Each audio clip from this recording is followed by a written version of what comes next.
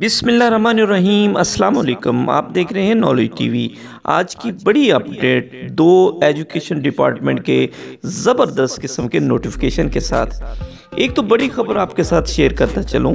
एक नोटिफिकेशन एक डिस्ट्रिक्ट की तरफ़ से इशू हुआ है, जिसमें उन्होंने कहा है कि कोविड 19 की वजह से स्कूल्स बंद हो गए हैं। लेकिन कुछ इस कराम को स्कूलों में पाबंद रखा जा रहा है। तो इस हवाले से उनको कन्वेंस अलाउंस की जो डिडक्शन है वो ना की जाए। तो इस हवाले से उन्होंने बाकायदा तौर पर अकाउंट ऑफ़िस को लेटर लिख दिया है कि तमाम जितने भी टीचर्स हजरात हैं इनकी कन्वेंस अलाउंस की डिडक्शन ना की जाए।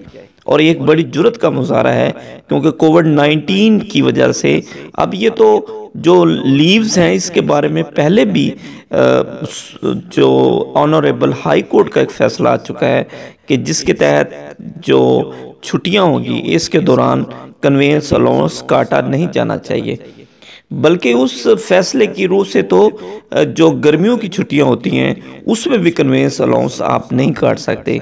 लेकिन ये एक न्यू नोटिफिकेशन आया कि जिसके मुताबिक छुट्टियों में deduction of the conveyance allowance नहीं हो सकती।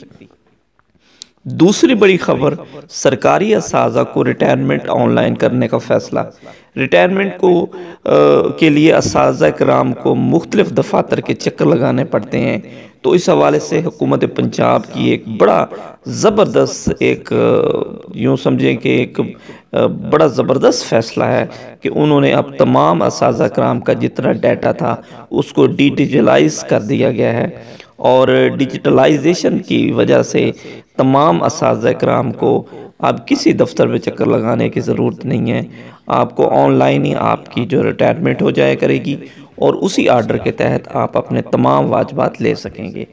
बड़ी अपडेट के साथ। थैंक्स फॉर वॉचिंग अपना ख्याल रखें